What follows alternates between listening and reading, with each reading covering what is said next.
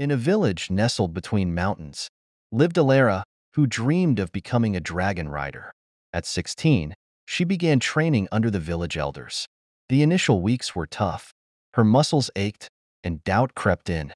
But she remembered Master Orin's words. Persistence is the mark of a true dragon rider. Elara trained tirelessly, facing harsh weather and skepticism from friends.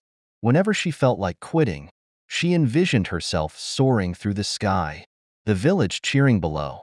One day, while training in the forest, she encountered an injured dragon with emerald scales and fierce eyes. She named him Tharos and tended to his wounds.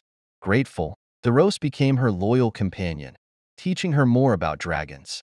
The day of the dragon trials arrived.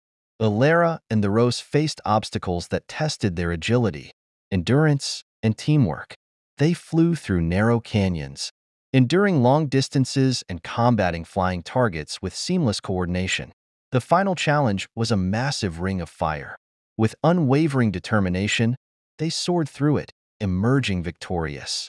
The crowd cheered as Master Orin declared Elara a true dragon rider.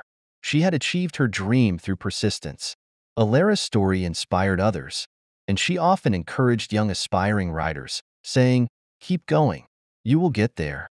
Elara and Tharos continued to protect their village and explore new horizons, their bond growing stronger. Years later, as an elder, Elara saw new trainees and smiled, knowing they too could achieve their dreams with persistence. The tale of Elara and Tharos became a timeless legend, reminding everyone that with unwavering dedication, any dream could be achieved. you